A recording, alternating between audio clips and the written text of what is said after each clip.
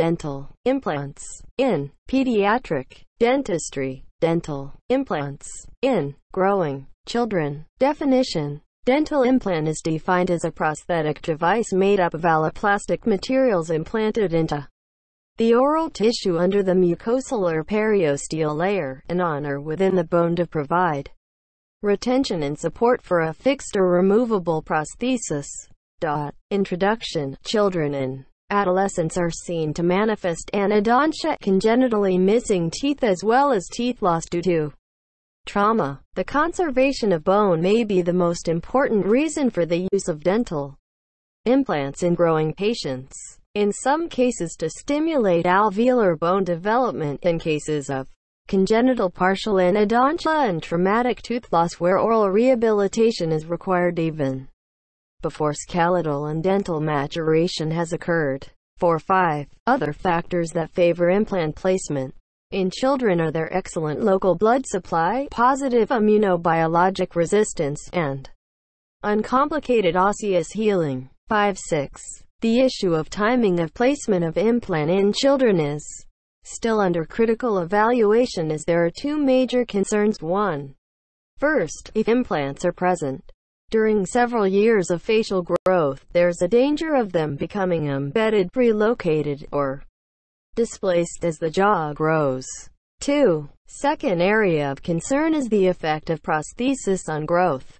Growth and implant placement. Growth in the maxilla and mandible does not happen uniformly in one plane. It is multidirectional, occurring at sagittal, vertical, and transverse planes.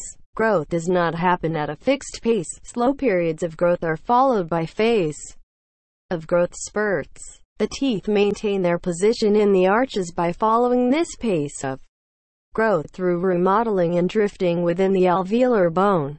Dot. Maxillary growth. Early childhood. The transverse growth of the maxilla is influenced by the increasing width of the cranial basin growth at the median suture.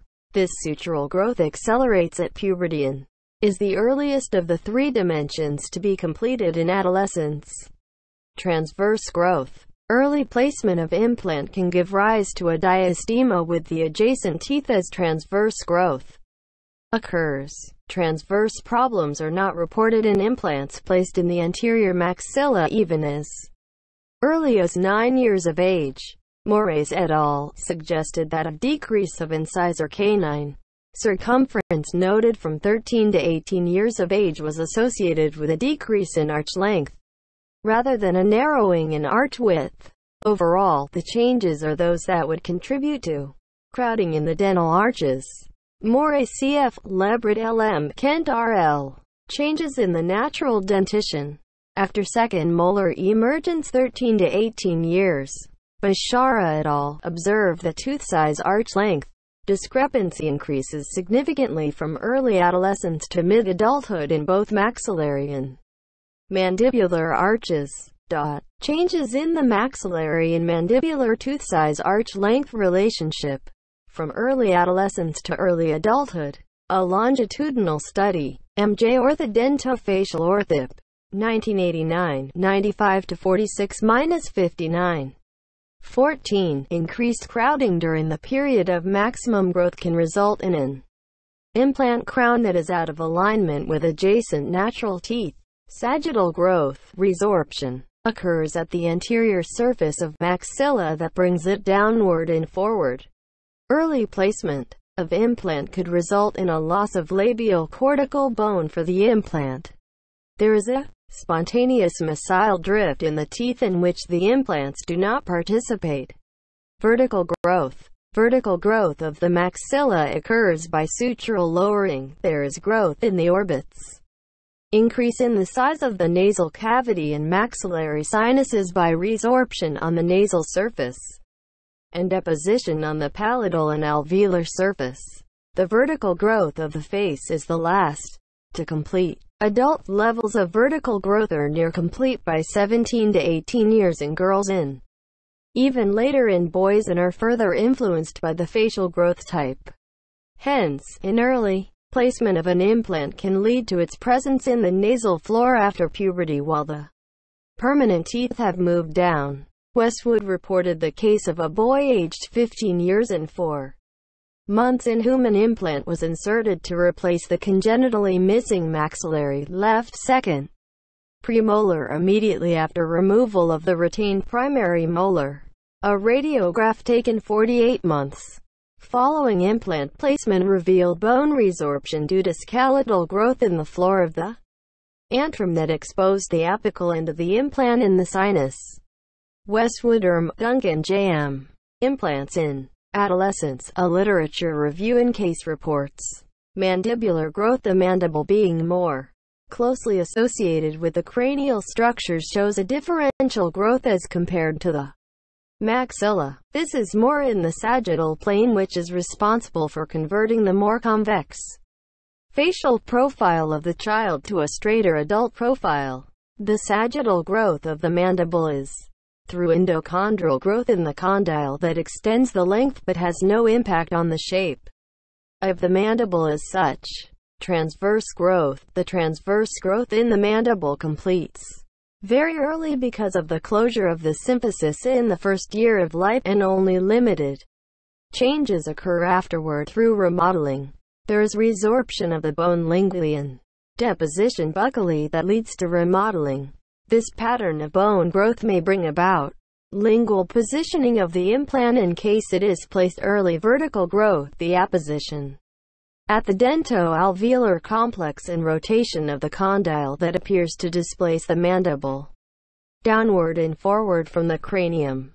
The vertical dimension is maintained through the dento-alveolar compensatory mechanism. In dosseous implants, two in the maxilla and four in the mandible were placed in a three-year-old child with ectodermal dysplasia at after a five-year follow-up implants placed in the anterior mandible moved with the mandible as growth occurred in the condyles and rami. The rotation of the mandible, which accompanies growth, did not cause a significant problem relative to the angulation of the implants in the prosthodontic occlusal plane. The maxillary implant, however, was close to the nasal floor use of endosseous implants in a three-year-old child with ectodermal dysplasia case report and five-year follow-up.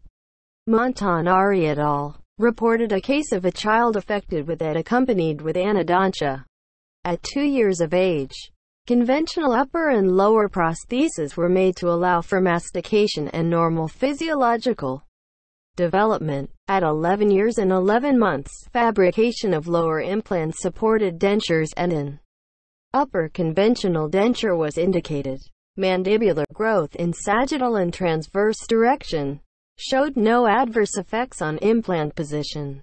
After a three-year follow-up the implant supported overdenture was well accepted by the patient. Oral rehabilitation with implants supported overdenture in a child with hypohidrotic ectodermal dysplasia. Growth assessment, chronologic. Age is not a true indicator of growth cessation. There is a wide range of pubertal growth spurt. In boys, 11 to 17 years and girls, 9 to 15 years, there is no accurate indicator as to when growth has ceased. A reliable assessment of growth is based on cephalometric radiographic examination. Serial cephalometric radiographs are taken six months apart and their tracings are superimposed to ensure that no growth has taken place, although it is the most reliable method. But it takes a lot of time and delays implant insertion. Another accurate way of determining skeletal age is to take a hand-wrist radiograph and compare it to a standardized atlas. Capping of the epiphysis adductor sesamoid epiphysis and diaphysis, three quick indicators of growth. Completion are the appearance of adductor sesamoid of the thumb, capping of the epiphysis of the middle phalanx of the third finger and fusion of the epiphysis and diaphysis of the radius. S. the skeletal growth of the long bones is complete, facial growth two stops, or it is safe to assume that it is near completion and implants can be safely placed. 31 factors to be considered for implant placement in growing patients 32 skeletal maturity level age of the patient implants placed after 15 years in girls and 18 years in boys or when two annual cephalograms show no change in position of adjacent teeth and alveolus are said to be most predictable prognosis. Sex of the patient as males grow for a longer time period than females. Implants in adolescent boys must be delayed longer than adolescent girls to allow growth completion. Number and location of missing teeth in patients with complete anodontia implants can be planned in the maxilla and anterior mandible as early as 7 years. However, it must be kept in mind that the implants may have to be replaced or prosthesis may have to be modified. It is advisable to restore a larger edentulous area with implants than to place a single implant-supported crown. Scope of dental implants in pediatric dentistry 33. Implant popularity as a treatment modality in adults is tremendous. However, the treatment planning and execution of implant placement in children and adolescents still in its infancy. In partially edentulous cases long-term success of dental implants has been responsible for other clinicians to broaden the use of implants to adolescents.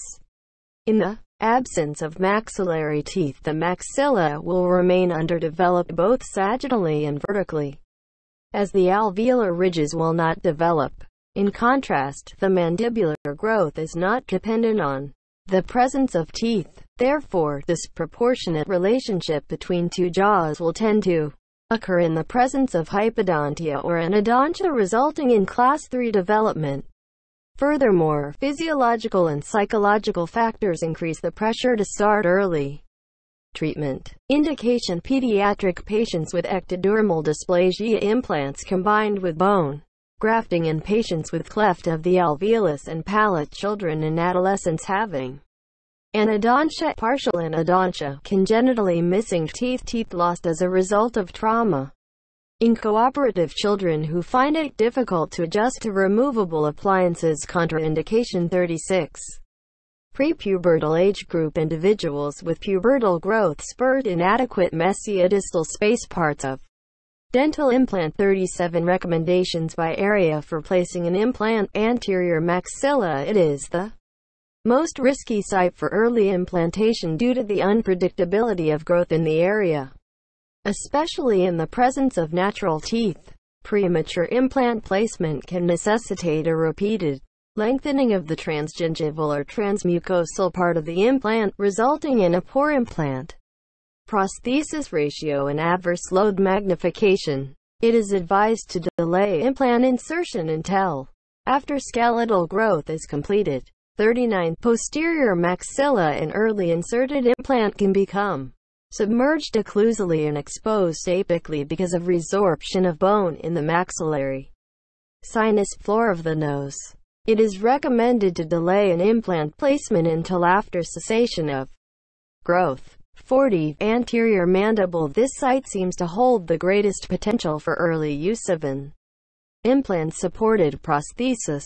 However, use of early implants in combination with teeth is not advisable due to the significant compensatory change in the dentition in this area during growth. 41. Posterior mandible It is recommended to delay implant placement until skeletal growth is completed as progressive infraocclusion of the implant and harm to adjacent teeth preclude the early placement of implant in this site. 42 recommendations for implant placement according to the length of the Eden edentulous span. Sharma and Vargervik stated that the use of implants for the growing child is not routinely recommended due to concerns regarding jaw growth.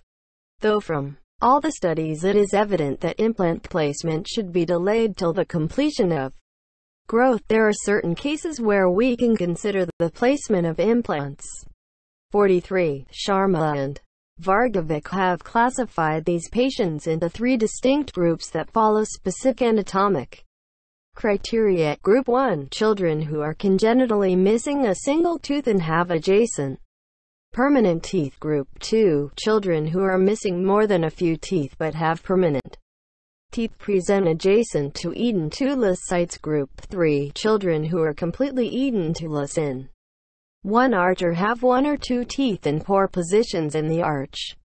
44. In group 1 patients if the implant is placed before completion of growth, the implant will become submerged relative to adjacent teeth. This would lead to an aesthetic complication and may result in poor implant to crown ratio. In group 2 patients removable prostheses are used so as to orthodontically optimize teeth positions and consolidate edentulous spaces.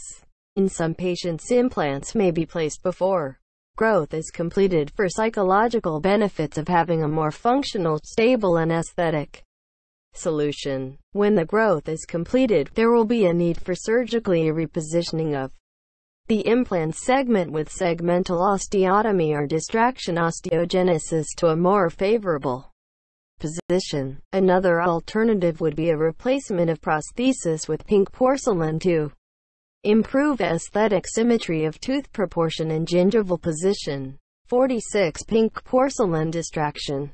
Osteogenesis segmental osteotomy. Group 3 patients usually have the diagnosis of ectodermal dysplasia. As the teeth are absent, the dento-alveolar growth and subsequent submergence of the implant is not a concern. Here, the downward and forward growth of the mandible and subsequent jaw size discrepancy is a problem. However, owing to poor oral hygiene, placement of implants in patients younger than the age of 7 is not indicated. In a study by Kearns Perrott and Sharma, in patients with ectodermal dysplasia, implants have been successfully placed in the maxillary arch and in the mandible anterior to the mental foramen. However, surgery may be necessary when growth is complete to correct the jaw size discrepancy. The prosthesis may have to be remade. 48 Recent advances Mini implants Mini dental implants MDIs or small diameter dental implants are sometimes referred to as SDIs, small diameter implants, as well as NDIs, narrow body implants. Diameter 1.8 mm to 2.9 mm less than 3 mm. Various lengths 10, 13, 15 and 18 ms. 49. The MDI are available with either an O-ball head for use with removable or fixed dentures or a square head for fixed prostheses or retrofitting a poorly adapted partial denture. A small pilot bit is used to create the opening for the implant to be threaded into the bone. The definitive implant-supported crowns are usually delivered within two weeks of surgery. 50 advantages. Immediate loading can be inserted in minimal tissues without relying on grafting techniques. Minimally invasive procedure, one-stage denture stabilization, does not require osteotomy. Cost-effective can be placed with a simple technique in patients with ridge too narrow for conventional implants 51 transitional implants diameter ranges minus 1.8 to 2.8 um, length minus 7 mm to 14 mm fabricated with pure titanium in a single body with treated surface. Primary function is to absorb masticatory stress during healing phase. The abutment head generally has a 5 degree taper, which makes it optimal for retention of cement retained prostheses. Only one drill, a 1.5 mm or 2 mm twist drill is required for placement of the implants. 53. Advantages provisionalization of fully and partially edentulous jaws undisturbed healing of bone grafts effective way to generate aesthetic transitional appliances. Allows evaluation of phonetics and function. Cost effective. 54. Conclusion Mini implant is becoming promising alternative to crown anchorage in the anterior region, especially in oral rehabilitation of patients under development due to its simple ways to use versatility and great Biocompatibility. 55 Despite limitations, it is a simple, single appointment and superior technically, as it provides good aesthetic and functional results which improves the patient's quality of life, social integration and increases the self-esteem.